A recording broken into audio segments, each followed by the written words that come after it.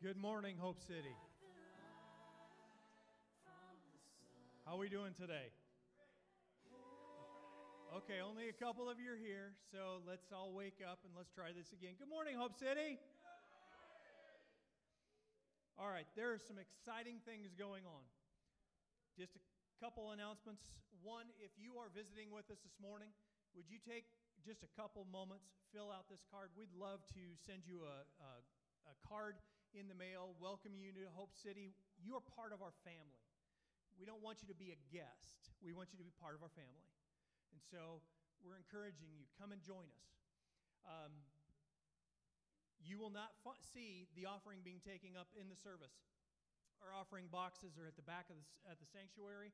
Go ahead and just put your offering in there on your way out if you'd so, de- so desire. Couple things. One is Pastor. T- this is Pastor's Appreciation Day. So, Amen. on the back table, if you did not uh, have an opportunity to bring a card or didn't, didn't bring one yourself, there are cards back there. Go ahead and fill one of those out for our pastors. Thank them for what they have done. Also, there are some goodies that are on the back uh, out in the foyer area.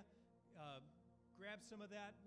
So, there's going to be cookies and some cheesecakes and things like that. So, be part of that.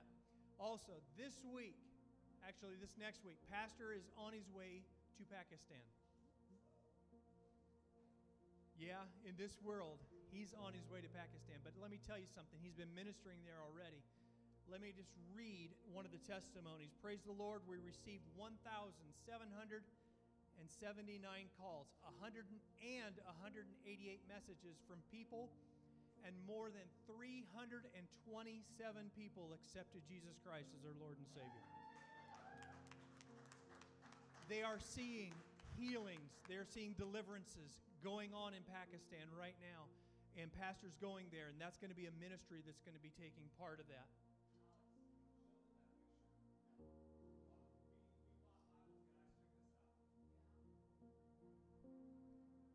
This is how hungry these people are for one Bible. I'm going to ask you a simple question. How many of you have two or more Bibles in your home? All of us do. How many of you could afford six bucks? Let's do that. Let's write six bucks per person for your family. Drop it in the offering. Write Bible on there or PAK for Pakistan. $6 gives them Bibles and we can take them and we'll send them to them. These people are hungry for God's Word. How many of us have seen people running down to the altars hungry for a Bible here in the United States. We need to be that hungry right there for the Word of God. As I said, today is Pastor's Appreciation Day. So I'm going to ask Pastor Nina to come up here for just a moment. Yeah, come on up. Pastor and Nina, yes.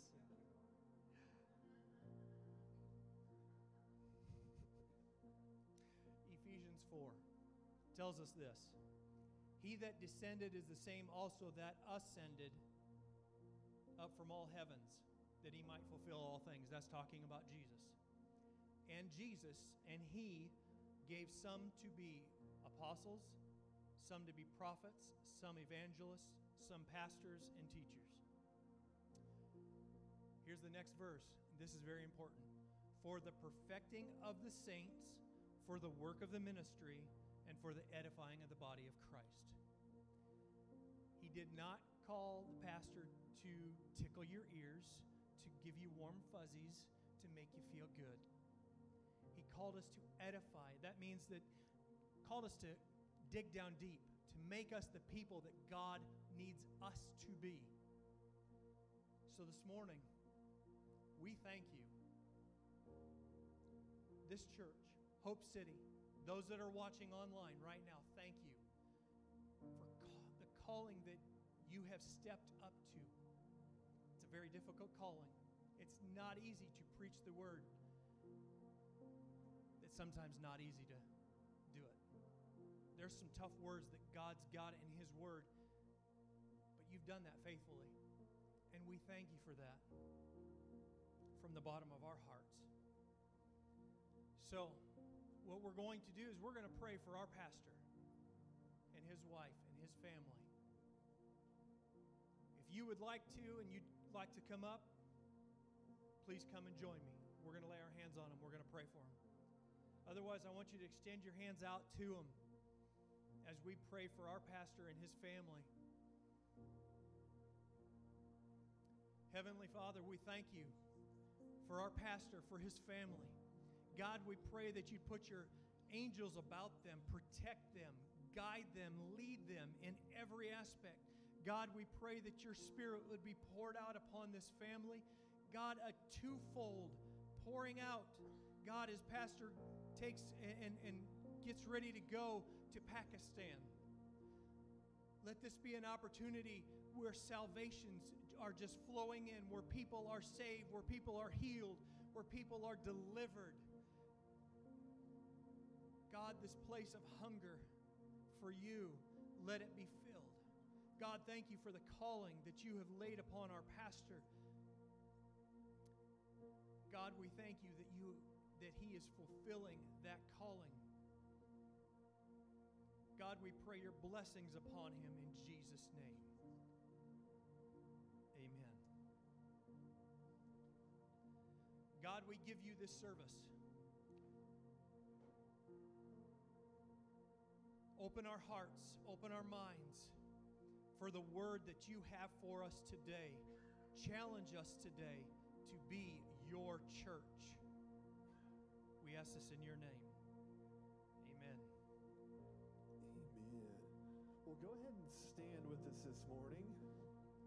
Did you come with expectation this morning?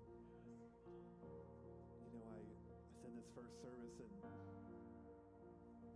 there's just been a theme that the Holy Spirit's been speaking in my heart this week, and it's that His promises don't ever fail.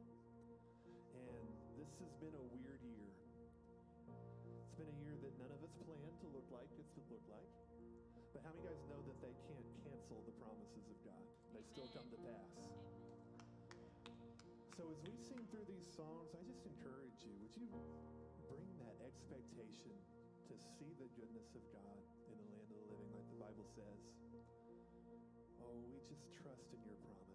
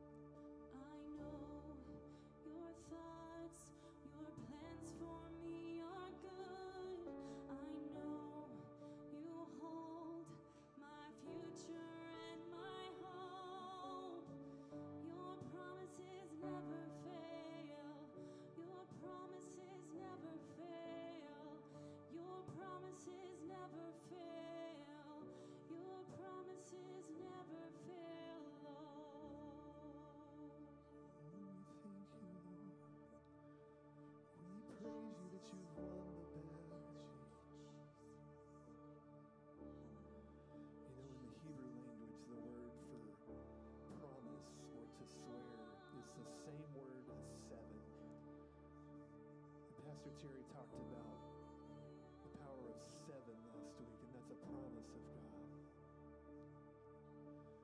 You know, when God commanded the Israelites to march around the walls of Jericho, it, it seemed weird, right? It didn't make much sense. And all he asked for them to do was trust, obey,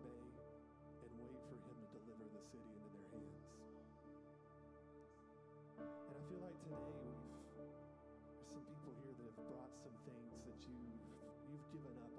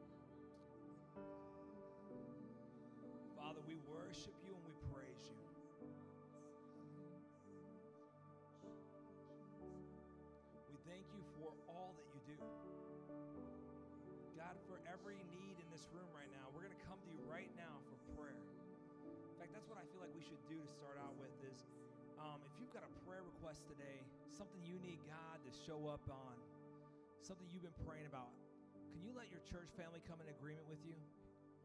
I'm not trying to call anyone out, but we want to come into agreement on prayer right now.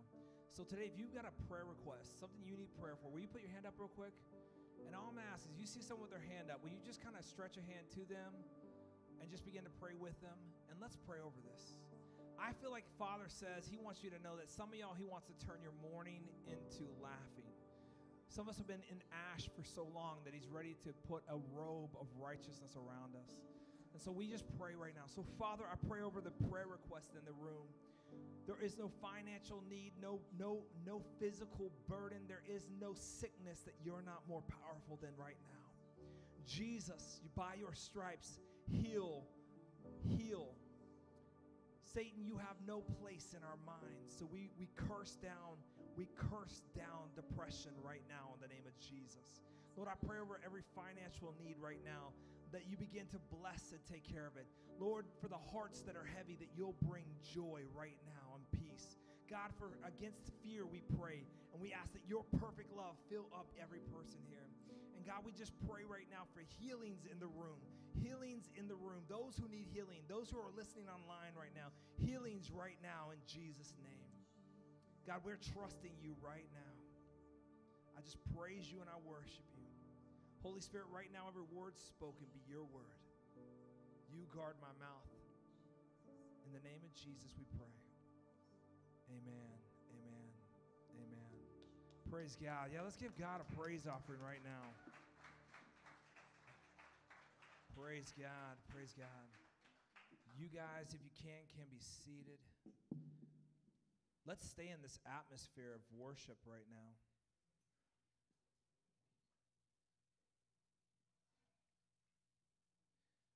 So I was joking with uh, Alex. By the way, let me just say this real quick. Oh, hold on, almost messed up. Okay, well, while you're in here, Clint, you know, I know it's Pastor Appreciation Day, but pastors aren't just the ones who preach. And so I just want y'all to know how grateful I am for every volunteer that we have. We have an epic army of volunteers that make Sunday mornings, both outdoor and indoor, happen. They show up early and they rock it for us. And they do it because they want to they want to see God move. And so all my volunteers, including Clint, Mr. Clint, as he's known by all the kids, who does kids ministry for us, man, and and and my all the baristas who help us throughout the week, and and you know the parking lot people, and I mean just everyone, all of you guys, Matt in the back, Alex who does all of our graphics and stuff. We got teenagers now helping us out, waving on the side. All of you guys who help us and make this, just thank you. I want you to know how much we thank you. And everyone else, let's just give them a hand. Can we do that? And so, kiddos, you can. Yeah, sorry, I didn't want to interrupt that. so, all my kiddos, you can line up with Mr. Clint. And uh, I think some of them are already out in the foyer area, but you can line up Mr. Clint and head that way. If you want to sit in service here, that's fine also. But if you want to go and have some fun today, Mr. Clint's going to be teaching the gospel, the Bible. It's going to be a good time. So, all right. Well, today, you know, last week, man, our, we were talking about Jericho, and the message was called Jericho Must Fall. And I don't know about y'all, but I got so riled up last week, I was half expecting one of us to just take off on a full Jericho march. Anyone remember those days? I grew up in a little church in Luther where my great grandma was the pastor. We had the wooden pews and everything. And when the spirit, she was four foot two, had the uh, the old lady afro. Do y'all remember the white? She had a perfect spear on her head of beautiful white hair. It glowed. And sometimes the Holy Spirit would come on her while she's preaching, and she would just run the aisles. So we haven't had that happen yet. So just if someone last week I thought it was going to happen. and Y'all have permission. I'll explain what's going on, okay? If something gets crazy, but we were talking about the fact that Jericho must fall. And you know, in our church right now, we're seeing incredible victories. We're seeing God move powerfully. We're seeing miracles happen on a daily basis. Um, whether it's Paige being healed of her celiac disease and all the stomach issues she's had. Guys, this girl is eating gluten for the first time in like what, 10 years and not getting sick from it and not having any reactions, not having skin problems. We're seeing healings. Yeah, we're seeing miracles, the online ministry stuff. We're seeing incredible things happen there. Salvations happening in both Kenya and Pakistan. Um, I mean, we're just, it's, it's beautiful what God's doing. And so, one of our heartbeats here at this church is we are contending for revival. And I feel the need to explain what revival is because maybe you have a picture from maybe the early 90s of what revival is. Anyone see some YouTube clips of revivals from the 90s? But I want you to understand the revival we're contending for is not just a feel good, get wild, get crazy, which, listen, if that happens, I'm down. It is, listen, wouldn't it be nice if you showed up at the church and the majority of faces were just shining, like smiling and seeming like they're having fun? Like, to me, if the church became a place that got so wild that, that, that we, that there's things where, I'm going to tell you this. Back in the clubbing days before I got saved, I didn't have a problem staying out till 2 in the morning, 3 in the morning. And we were loud, rowdy, and embarrassing acting, right? And, and now we have to set up churches in a way that makes people want to come in and hang out with us. What if the Holy Spirit just started giving everyone joy? Would we be okay with that? Okay, and then what if people came in and their lives were changed forever? They were walking away from addiction. Fathers are becoming great fathers. Mothers are becoming great mothers. Kids start saying yes, ma'am, no, ma'am when they're asked to do their chores. That should have got an amen from a parent somewhere. What if we were, because what we're seeing on a daily, basis, we've had drug addicts run in here at the end of service just saying, I can't live this way any longer and repenting and coming to Christ. One of them drove two hours to be here because she knew that, that we would baptize her in water afterwards. Come on, that's miracles happening. And the revival we're contending for is not just about making religious people feel good and holy, it's about seeing the world come to Christ. It's about bringing change into the world. And so, as a, as a church right now, we are contending for that. I want to see people's lives change forever. I want to see miracles happening. I want to see people, because here's the thing Self help is only going to do good as long as you've got the will to make yourself do what it's supposed to do. But when Holy Spirit comes in and does a change inside of you and radically changes, something shifts inside of you, it's different. Anyone experience that? Come on, don't be quiet at this moment. Anyone had the Holy Spirit come in, shift something around? You were one way one time. I walked away from being a drug addict, right, to being a minister of the gospel it, with a shift of the Holy Spirit, in which the person who got a touch from the Holy Spirit decided that I was too depressed and invited me to church. This isn't on my notes. I don't know why I'm going this path, but he was like, You're depressed. He was my pot connection. And he said, You should come to my girlfriend's church. They'll hug you there. I'm worried. And then he wouldn't quit because he had a he had a moment where Holy Spirit did something. The Holy Spirit did something in him and I showed up there with all my preconceived notions. And the first thing that happened to me was some guy in the back mall walked and hugs me without permission. He doesn't care. And I had spiked hair and, and, and you know, uh, piercings and, and uh, smelled like smoke, okay? And he's just hugging me like, we're so glad you're here. And my friend who invited me standing behind him going, see, I told you, they hug you here.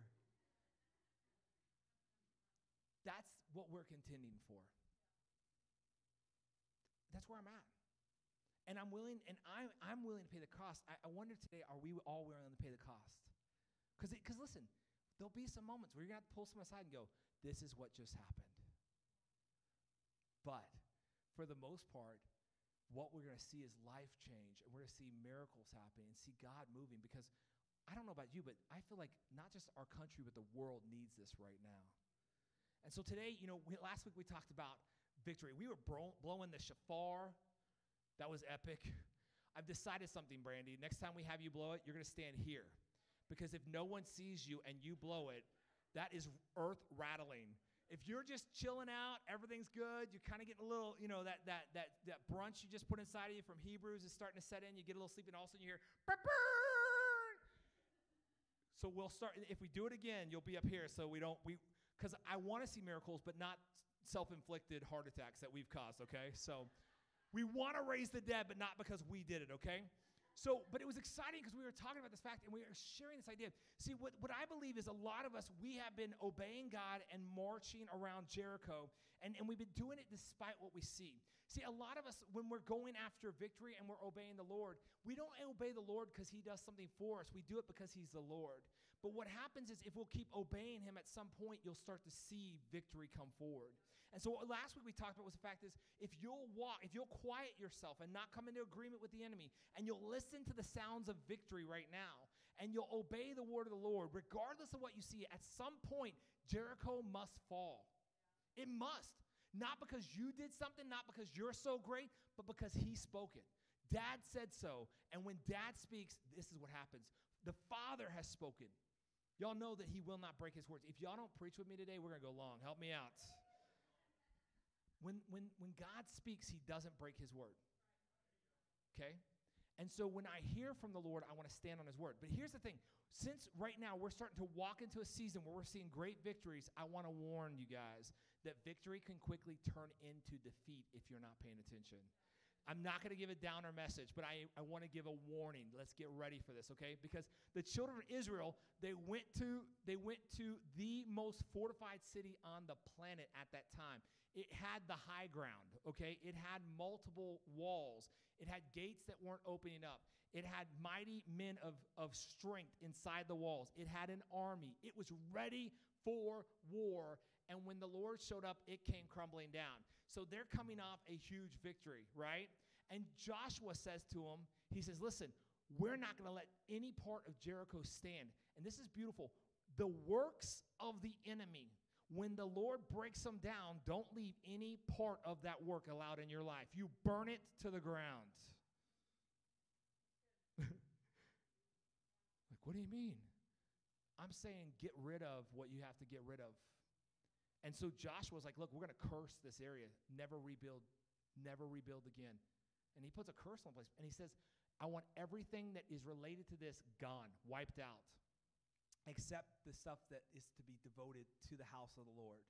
And so they built up the treasury of the house of the Lord. Now, this was the instructions of the Lord. So now think about this. You come back, right? You just won a huge victory, and now you're coming up to the next city. It doesn't have walls, it's not on the high ground.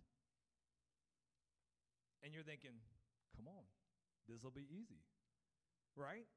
And I really believe that's what they were doing too. So check this out.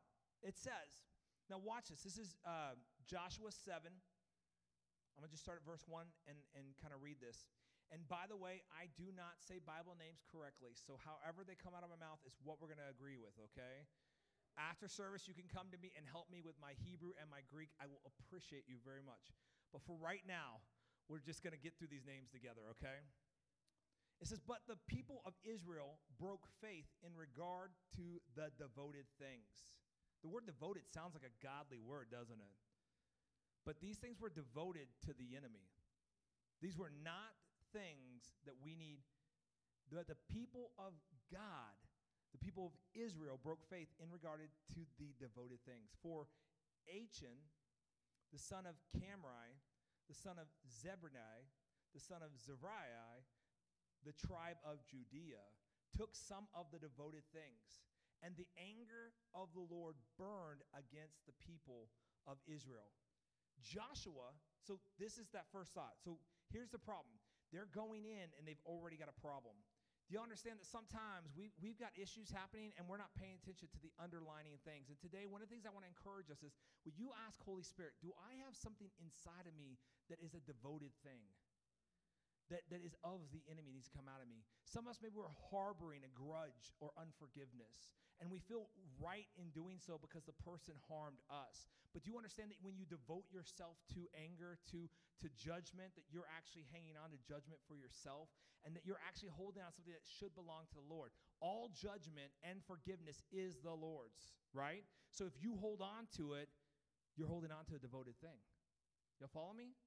Some of us, we, maybe the thing we're holding on to is pride or religious thought processes or wrong thinking. You've got beliefs that are not correct. And the Lord has been working on you, saying, quit saying these things. And you're still holding on to them. And, and, and I've even had moments where when I was praying with a young man, the Holy Spirit showed me where he hid his hash pipe and his pot. And, and the kid wants to live for the Lord. And he's like, I don't know why I keep struggling as I'm praying for him. I said, You've got two drawers in your nightstand, and the second drawer underneath some magazines is your hash pipe and a bag of pot. You need to get rid of this and tell your grandma you've been smoking again, and you can come out of this now. Y'all know how much you'll freak a person out when the Holy Spirit reads a mail like that? I'm not going to do that to y'all today. The Holy Spirit will put something inside of you, though, a thought inside of you. Go, how long are you going to hold on to this grudge? How long are you going to hold on to this anger? How long are you going to hold on to this fear? How long are you going to hold on to this wrong belief? It's a devoted thing, and it should have been left when the enemy's work was destroyed at Jericho. Y'all with me? So now, not knowing this is going on, Joshua sends the men of Jericho. These were the guys that went in and were a part of, of, of cleaning out Jericho. These were the ones who went in and spied on Jericho. So he's sending very uh, capable uh, spies into the next land to Ai, which is near Beth Abel, east of Bethel, and said to them, Go and spy out the land. And the men went up and spied out Ai. And they returned to Joshua and said to him, Do, uh, do not have all the people go up, but let three two or three thousand men go up and attack Ai. Do not make the whole people toil up there, for they only need a few. Let me give you a warning right now. When you start walking in victory, is definitely not the time to start giving a half effort to anything. Because what he's saying is, why should the entire nation battle when only a few of us? We don't have to give a full effort at this thing. There's a small problem. Let's just do a half effort. And I don't know if you know this or not, but the Lord loves it when we give half efforts. He's a real fan of lukewarm. Y'all are shaking your heads. No, he's not. He says, I'd rather you be hot or cold. If you're lukewarm, I'll spin you out. And so, what's happening right now is they're saying, look, this is a small area, not very many people. Let's give a half effort. So, about 3,000 men went up there from, uh, from the people, and they fled the men of Ai. And the men of Ai killed about 36 of the men and chased them uh, before the gate as far uh, as she breathed them and struck them at their descent. So as they're running away, they're being whooped even further in this battle. And the hearts of the people melted and became like water. And then Joshua tore his clothes and fell to the earth on his face before the ark of the Lord until evening. And he and the elders, he and the elders of Israel. And then they put dust on their heads I was rereading this last night and I was talking to Nina about how silly this is. Like, you're tearing your clothes. You're, I, we're not from this culture, but it just made me think of like the times that I've sat in my car sulking at God and how silly that's going to be looking if, if uh, any story of my life ever comes out. I mean, I know it'll get revealed in heaven at some point, right? Has anyone else had a moment where defeats come in and if you look back on it now, you're like, ugh, wish I had handled that one better? Okay, good. I'm just, I was just worried it was just me. And Joshua says, Alas, O Lord, why have you brought us to these people over the Jordan at all to give us the land of the Amorites to destroy us? Would that we would have been content to dwell beyond the Jordan. O Lord, what can I say when Israel is turned their backs before their enemy? For the Canaanites and the other inhabitants of the land will hear about it and will surround us and cut off our names from the earth. And we will, uh, and, and what will you do, and what will it do for your great name? And the Lord said, Get up. Look at your neighbor today and say, Get up. Look at your other neighbor, tell them to get up. And if a neighbor said it weakly, look at them double and say, No, seriously, get up. Don't call anyone out. I'm just kidding. Don't call anyone out.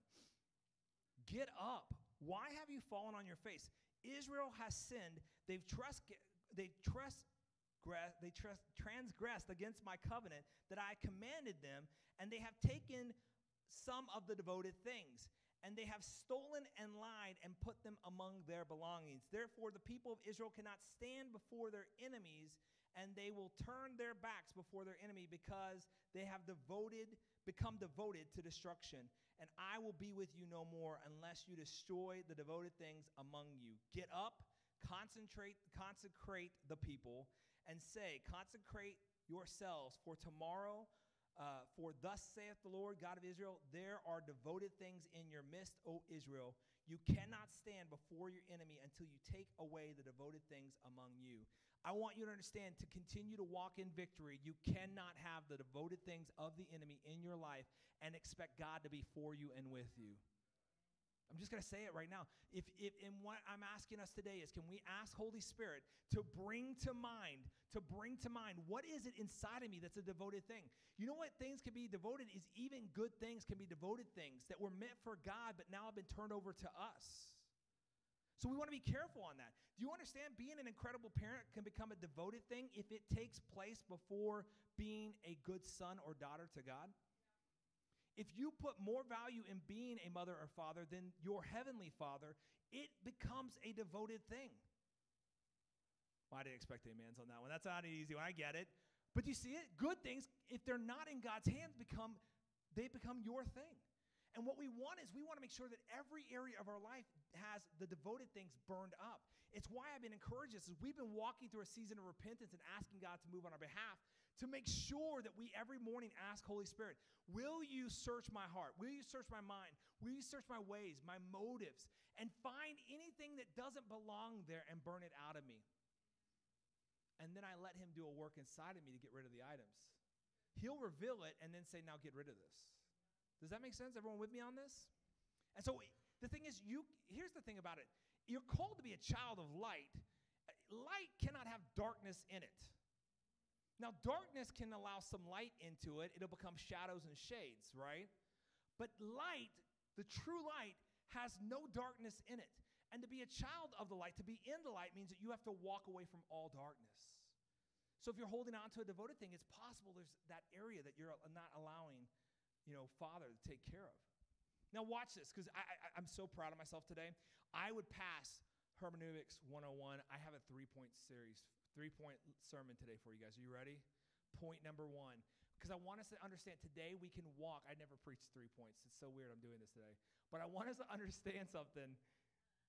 I want us to keep walking in victory. So what I'm not doing today is not making accusations. I'm giving us warnings to be mindful of so that we are we don't step out of victory today. Are you ready? So right now, let me ask this question. How many of y'all would say right now you're having victory in your life? Big or small, you're having victory in your life. Okay.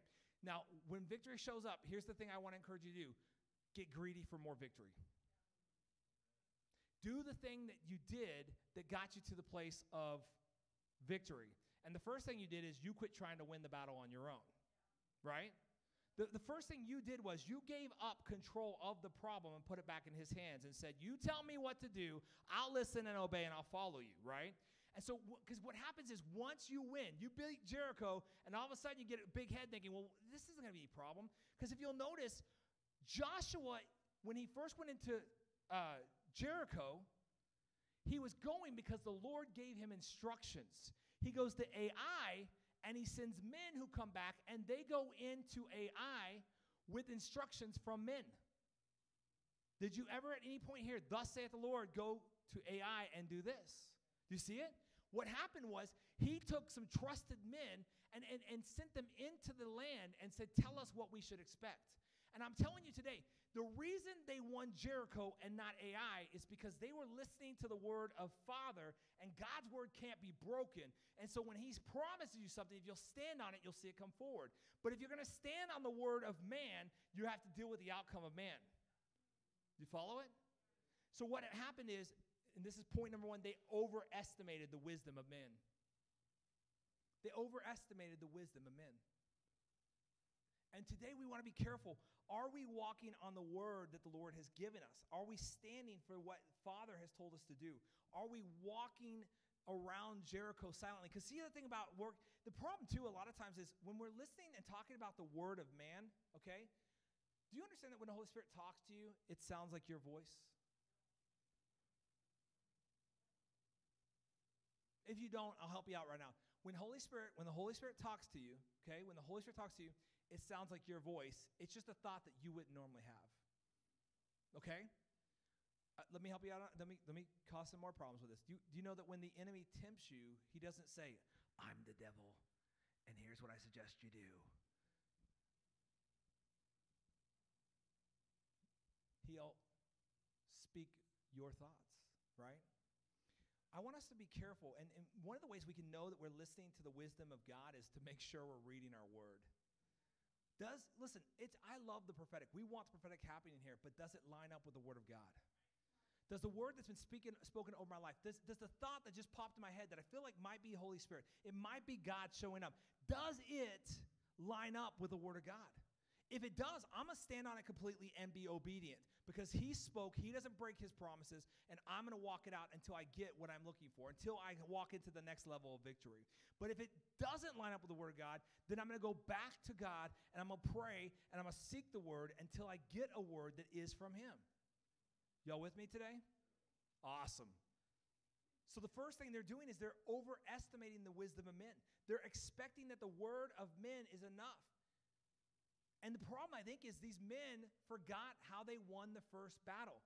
They did not bring battering rams to the walls of Jericho. They had no TNT, they had no modern warfare.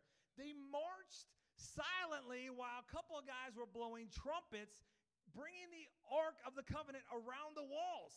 That's what they did, guys. It wasn't their efforts that did it, it was the word of the Lord plus the obedience that they had. So God did the battle. The battle was won because the Lord fought it. Guys, this may help you out. If you're, especially if you're a type A personality, you don't have to win all the time. You don't have to be the solution all the time. Y'all get quiet at weird moments for me. Because he, he's going to fight the battle for you. The hardest thing to do, you were talking about in the song about waiting. Waiting is hard because waiting looks like walking around Jericho silently while seven guys blow trumpets. Waiting is you're going to family outings and you're one of the few Christians there and you refuse to act like your family's acting at this moment and they call you uppity and, and, and religious and, and make fun of you. Waiting looks like going into your place of employment and trusting that everything's going to work out, even though you've heard rumors that there's going to be layoffs. Waiting is, is getting the diagnosis you hope the doctor wouldn't give you. And now you're just praying and asking God to heal you, and you're standing on the word, but you don't feel any different. You don't see anything different. But you know the Lord spoke. Waiting looks like that. And if I'm going to trust the word of man, then I really want to make sure first I've listened to the word of God. Because man is fickled. I don't know if y'all know this or not. Man is fickled. Let me give you another one that happens, especially when we're in a place of victory. And guys, I want us to stay in this place of victory. In a place of victory, we start underestimating our enemy. See, Ai got the report that Jericho fell down and was burned to the ground. Do you think the people of Ai were just sitting around waiting for Israel to come up? Or did they go, you know what? We need to get our resolve picked up. We're about to be invaded ourselves. We're about to be torn down. We've got to change something right now. They were ready. They knew an invasion was coming. The enemy does not take holidays. He doesn't take off on Saturdays. He doesn't sleep in. The Bible says in John 10:10, 10, 10, the enemy comes to kill, steal, and destroy. That's his goal let me give you this way 1 Corinthians 10 12, it says, Therefore, let anyone who thinks he stands take heed lest he falls. In other words, don't get prideful in the fact that you're standing up while other people are falling down. Be mindful that you're standing and, and, and, and let God watch you and quit underestimating, because even, watch this one. Because even the thing we understand is it's not that you're fighting the enemy himself, you're fighting his schemes. Schemes are sneaky, aren't they? Ephesians 6 10 through 12, it says, Finally, be strong in the Lord and in the strength of his might, and put on the whole armor of God that you will be able to stand against the schemes, schemes of the devil. For we do not wrestle against flesh and blood, but against rulers and against authorities and cosmic powers over the present darkness and against spiritual forces of evil in heavenly places. You have an enemy who is determined, who is hell bent on the idea of your destruction because he knows he can't have ultimate victory. So he'll take whatever little victory he can get by knocking down God's children and taking them with them. And therefore, he doesn't rest. He has no win except for when he takes one of us down. And so, what I'm saying is, now uh, the other side is this don't give him too much credit either. You have complete and total authority over him. So I don't blame everything that's happening on my, in my life on the devil. But when things are starting to not have victory moments, I do ask Holy Spirit, like, will you check my heart? Will you? I need to consecrate myself. Is there is there something I'm holding on to I need to let go of? What happened that, that I'm allowing the enemy in this area to have a victory in this place? Y'all follow me? So I'm not saying be afraid of the enemy. I'm just saying be mindful of the fact he doesn't quit. He doesn't quit. 1 Peter 10 8 says, Be sober minded and watch, for your adversary, the devil, prowls like, like's an important word in this, a roaring lion seeking to whom he can devour. He's not a roaring lion. He just makes a lot of noises like a roaring lion, and he's prowling looking for who he can take out. So we want to be mindful in these areas. I don't want to. I don't want to uh, overestimate the word of man. I don't want to underestimate the enemy. And here's another one that happens, and, and this is interesting. And I don't know why it is this way, but do you understand being a Christian, like a powerful Christian? If you want to be a Christian who's having powerful moments of the Holy Spirit, if you're in a place where things are always hard, you're going to be close to the Holy Spirit. Have you noticed that? Think about how you pray when you get the bad reports. Were you praying like that yesterday before you got the bad reports? Y'all follow me on what I'm saying? What I'm saying is, it's like it, there's a place if we're not careful. And David, King David does a great example of this. When King David's at war, he is battle ready all the time. He is not having problems, but all of a sudden he sends his men out to war and he stays home in a place of rest, in a place of victory. And, and because he's comfortable, he's allowing himself to look down at Bathsheba as she's bathing, right? And now he's falling away from it. When we're in the hard places, it's easier to seek after God. And when we hit mountaintops, it's easier to get comfortable and go, well, this feels good. I want to stay here. But what the Lord is saying, will you press in even further? Don't get content in any place of victory you're at. Seek after more and more of Him. Let me give you one thing that happens if you start doing this, though, is you'll start to underestimate the effect of sin.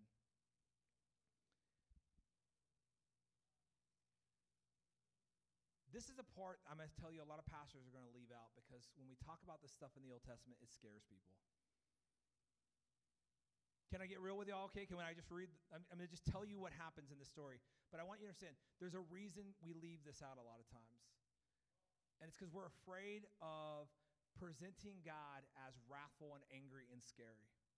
Okay? And I, I want to reverse the script on this thing. I want to change, I want to change the narrative in our minds so that we can better stand for this. God tells Joshua, I want you to go near one of the tribes. So there's 12 tribes of Israel. We're talking millions of people. So, wa- so as he walks near, God says, Now this is the tribe I want you in. So he goes to Judah, the tribe of Judah. And then all of a sudden he says, Now I want you to get near one of the clans of Judah. So he gets near to the clan of Judah. And when he hits the right one, then he says, Now I want you to go to the family. And then finally, when he walks in the family, he finds Achan, the one who's hidden the devoted things. And the interesting thing is this when, when he's exposed, he says, I coveted the devoted things. And he says, I stole a cloak, and I stole gold, and I stole uh, shekels, which is more gold, but in, in money format. And I've hidden them. Okay, how many y'all would say that's a confession? The Bible says if you repent of your sins, right? So the thing is, it's he says this, and you would think, okay, well, he did the right thing. He exposed the truth. He's told what he's did. Yet I'll let you know that the punishment is that every item that was hidden was burned up. He was killed for that sin, and his family members were killed. See why we leave this one alone in sermons? And you go, well, that's not fair. That's not fair. He confessed. Well, let me explain something. The God of the Old Testament hasn't changed to be the God of the New Testament who's friendly, you know, happy. He's the same God. Not that he's wrathful either way, but he will not he will not deal with sin because he's all holy. There's no room for unholiness. He's all good. There's no room for bad. And and the beautiful thing is he actually makes a promise and he'll keep it. And he says there's a high price for sin. Sin has a payment that is owed to it, right? The wages of sin is death. So what happened is he did the crime and the judgment came down, and he had to pay for the price of the crime. That punishment is still the same today. You sin, and the punishment owned for that is death. Now, stay with me for a moment. Because everyone in the room is going, Well, I've stole, or I've lied, or I've sinned. And, and, and, and some of y'all know where I'm going, but I want to make sure everyone follows me on this. What we have that's different than what he had is they had the lesser Joshua. Remember last week I said Joshua is the Jewish word, or is the he, it's the Greek word for Jesus, and we have the greater Joshua. The payment for sin was paid when Christ died on the cross for our sins. See it? So what I'm saying, and the reason this matters is because you could say, well, you know, it wasn't even that big of a deal. It was just a cloak. It was an item of clothing and a little bit of gold, and he's going to be killed for this? But the problem is, when we look at it that way, we don't understand that crime has changed throughout the history. There are things that are legal to, today that were criminal behavior just 10 years ago. There are things that happen now that would get you executed back then that are now considered okay. In every society, the idea of punishment and crime has changed. The severity of crime has changed. The uh, interpretation of it has changed. But God has one interpretation and one punishment. Do you see how fair that actually is? Are y'all with me on this? And the thing is, now Christ has paid the punishment so that when we ask Christ for forgiveness, he says that my life will be the payment for what you did. Achan had no opportunity to make that choice. He had the lesser Joshua. We have the greater Joshua, Jesus, who died on the cross. And now we can be forgiven of sins. But here's the thing I want us to understand let's not be okay with the fact that Jesus died. The payment is still as great as it ever was, even if you're not going to pay it. So we don't want to take effect because here's the thing it wasn't just Achan that got punished for his sin, the entire nation could not win the battle of Ai. His family was punished because of his sin. And a lot of us, if we're not careful, we're allowing sin to come into our life. And because we can be forgiven of it, we think it's so easy. But the fact is, your effect of sin can be forgiven, but it has a price that your family is going to pay, that your community is going to pay, that your church is going to pay, that your nation is going to pay. Do you understand the sin of being quiet about abortion has made abortion run rampant in our country?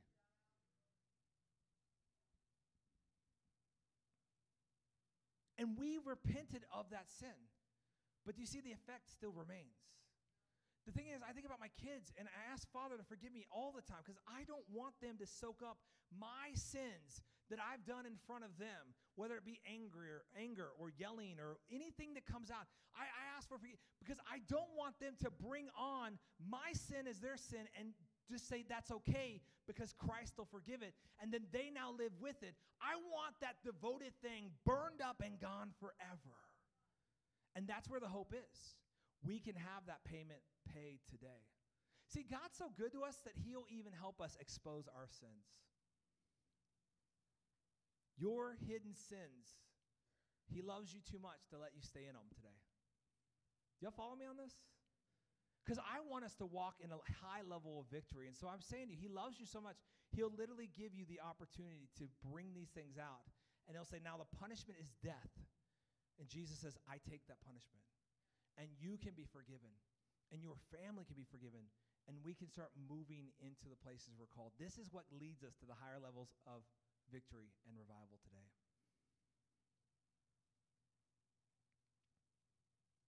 I hope this gives people hope. I know it's kind of a downer. We were just Jericho marching last week. What I'm saying is, we're winning, let's keep winning. We are victorious, let's stay victorious. We are sons and daughters of God. Let's act like it. We are the head, not the tail. Let's be that. Let's not go around becoming the old person. What is the devoted thing that the Lord right now is putting in your heart? And He says, I want to take this out of you. Some, listen, in the season I'm at, it's been these thought processes that I've had that weren't correct. And I've been challenged. Y'all, the, the one thing that I, I listened to the word of man when we started the church. We went to seminars on how to build a thriving, awesome, epic church. And we did that. But at some point, the Holy Spirit just comes to you and goes, How about you release this devoted? Because listen, listen to some experts, guys. I'm not saying don't listen to experts. I'm saying if at any point God says, I want you to do this, and even if it goes against the experts, why don't you trust God before you trust the experts? Y'all follow me today? I want to give everyone this opportunity. What, what area right now is Holy Spirit bringing up in our minds that, that is a devoted area that needs to be given up? Because we can walk in deeper levels of the love of God. That, here's the thing do you understand that God doesn't hold anything back from you? You choose not to let Him give it to you. I, am gonna I have to qualify that because that doesn't sound right, does it? I'm simply saying if he has if it, if it's his will that you'll choose to serve him and he won't force you to, then isn't it possible that if he says I will bless you, you could also say but I'm not ready for that. Because if I do this, I have to be obedient in this area or do this thing. I'm going to have to walk around Jericho silently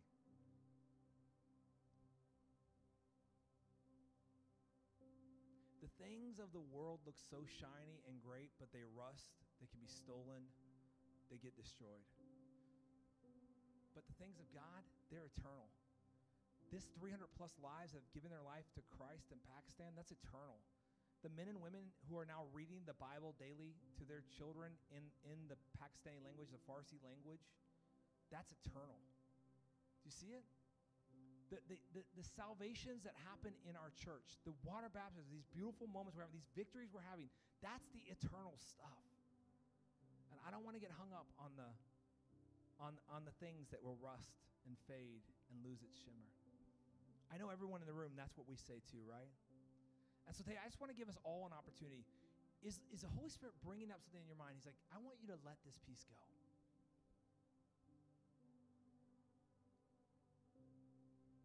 And I'm talking even good things.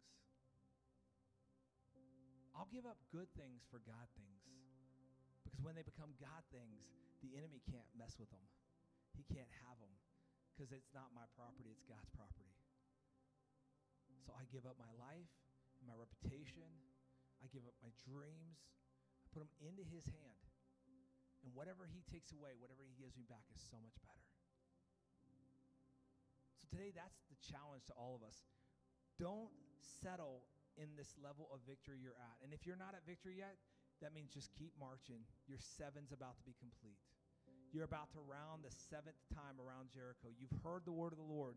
Be obedient and wait on him. Your victory's coming. If you've had victory, don't stop here. There's more victory to be had. There's more. There's so much more. So we're going to go to a time of prayer.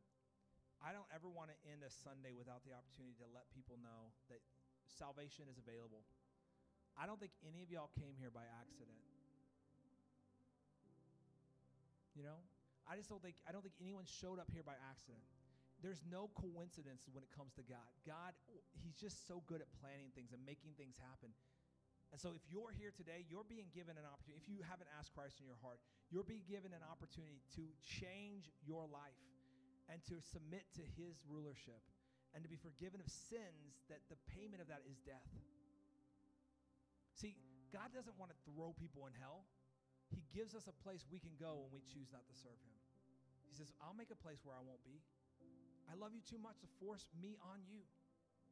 So if you want to go there, I'll open that up for you but that's not necessary, is that we can have salvation today. Does that make sense? And then for the rest of us, I just want to give us a challenge.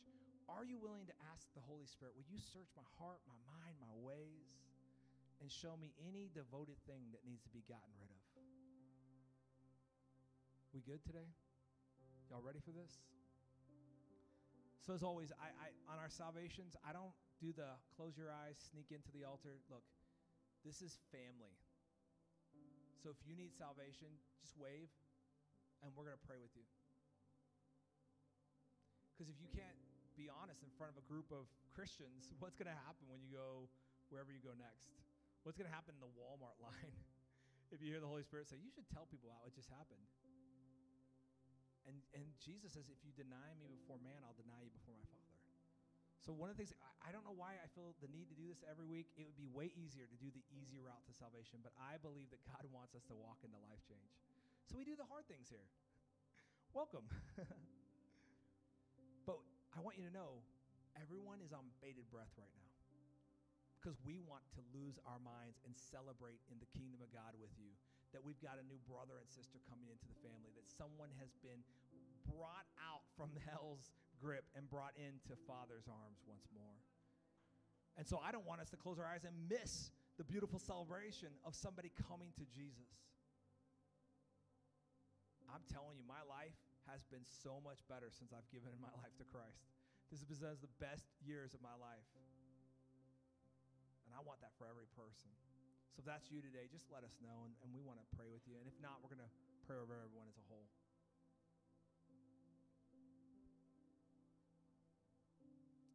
On Facebook, if you're asking Christ into your life today, just put in the comments that you've asked Christ into your heart and uh, put a direct message to us, and we'll, we'll message you and give you some follow up. Okay, then let's do this. I want to pray over every person and just ask if you're willing, will you let the Holy Spirit search your heart, your mind, your ways, and just show to you any devoted thing that needs to be given up? Maybe you won't have anything. That's great. Can't hurt to let Him check, right? Because we want to go to the deeper places. I want greater levels of victory in my home, my family, my church, my world.